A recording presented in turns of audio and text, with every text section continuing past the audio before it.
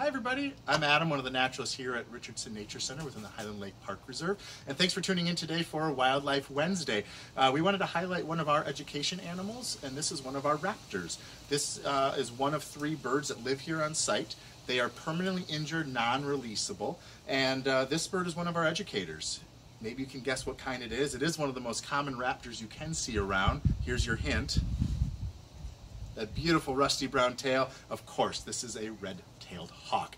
This bird, red-tailed hawks, are what we call an edge species. They're going to be found along roadsides, farmer fields, meadows, prairies, and they're hunting from above, searching the ground for their prey. They're very much a generalist, so they're looking for anything that's small enough that they can catch. Things from rabbits, squirrels, chipmunks, snakes, other birds, but they are really a rodent specialist. So these guys are helping to control rodent populations, things like mice and shrews and moles and voles.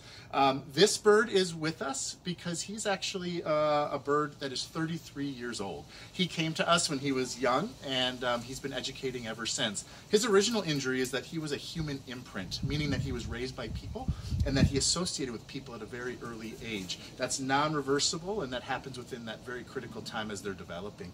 Um, this bird, um, being injured, once went through the Raptor Center at the University of Minnesota, and we can learn a lot from him. If you ever find a baby bird, the best thing you can do is to call the Raptor Center if it's a raptor, and we'll supply that information information to you, um, and they can talk you through what to do with it. If you find another bird that is a non-raptor, so when I mean raptor, a bird with a hook beak, talons, good eyesight, eagles, hawks, owls, falcons, vultures, ospreys, harriers, kites are a big list of the types of raptors.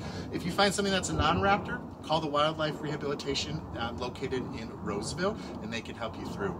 Thank you so much. Hopefully you get out, check out the roadside, see if you see one of these red-tailed hawks, and uh, when we open back up again, come check out and see our red tail here on site. Thank you. Come back again for Wildlife Wednesday.